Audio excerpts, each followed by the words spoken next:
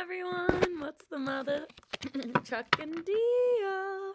Mother sucking deal. Excuse me. What's the mother sucking deal? okay, so it's been a while. Bear with me. Hangman in reverse. So this is an enlightened perspective. This is also the Pisces card. This is a reading for Scorpio. Okie dokie.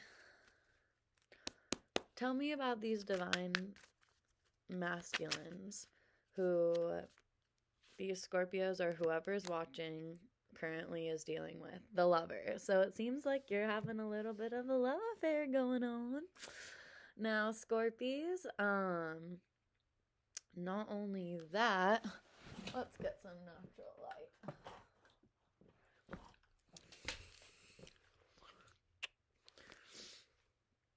The lovers, the lovers, the lovers, the lovers. Two just meant to be a fit that's seemingly perfect.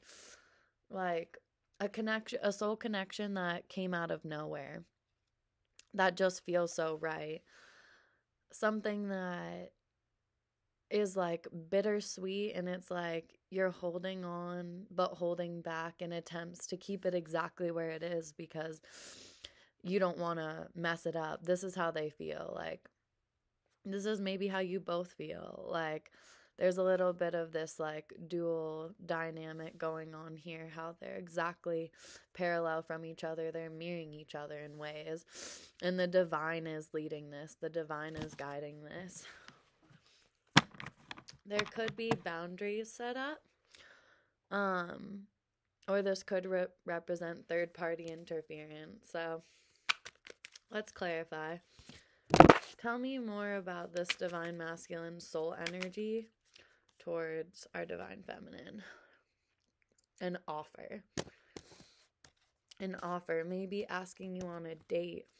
Starting to move out of oppression into an offer. Bringing this with enthusiasm and having a rec- reconciliation. Like, coming in with some like fresh cherry poison, you know, romantic gestures and reconciliation with these lovers, with this lover. Yeah, just more offers, more exciting new things. Um let's see.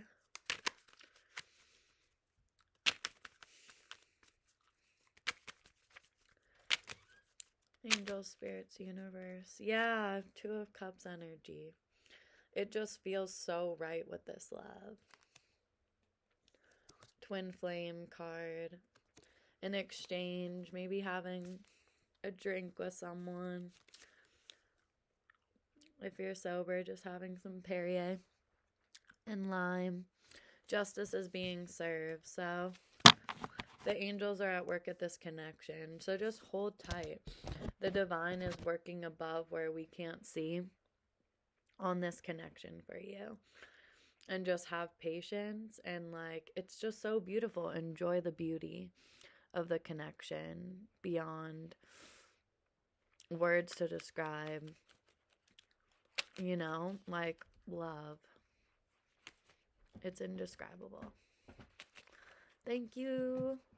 So nice to see you. Um, dear Lord, I pray that these divine masculines um, keep coming forth to the divine feminine and asking them out and coming up with new ideas, um, spontaneous ideas to see them. I pray that there's more kisses out of nowhere and there's more sweet things that are said. I pray that there's a deep solid relationship that's built off of the divine itself and that is just you know puzzle piecing above the divine. I pray that there's a trust and a solidarity in the relationship. I pray that there's um a a knowing and inner knowing that just sugarcoats all anxiety or all unknowns or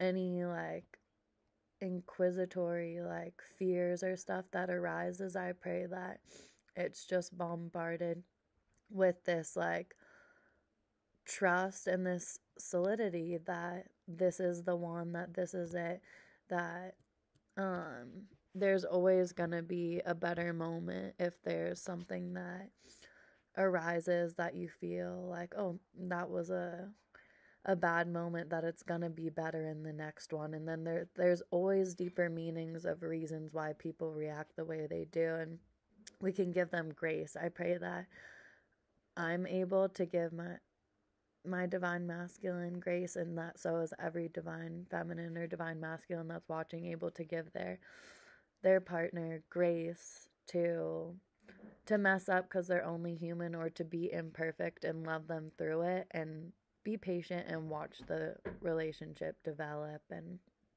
i pray that um there's yeah just a strengthened bond and clarity is brought to the situation of what it could be and what it truly is.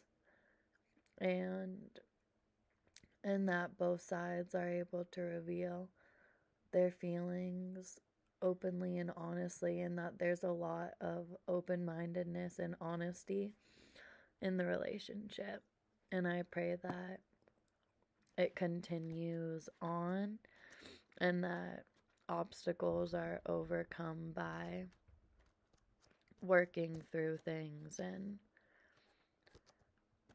and that the reconciliation is a blast and that these offers are even if they're starting small are noticed as what it could become like the seeds that all seeds grow into flowers into seed.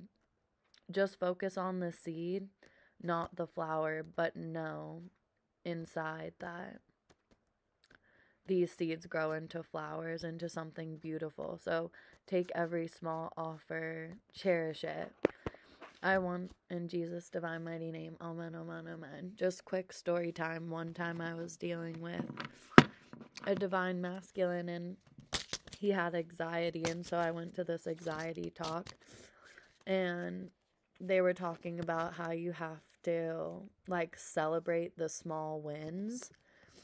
And like for people like that, it's like really that's what makes small steps towards humanity is like celebrating the small wins that they have and being appreciative of those things. Like it's the biggest thing in the world. So thanks, Scorpios. It was a pleasure. Have a beautiful day. Stay blessed.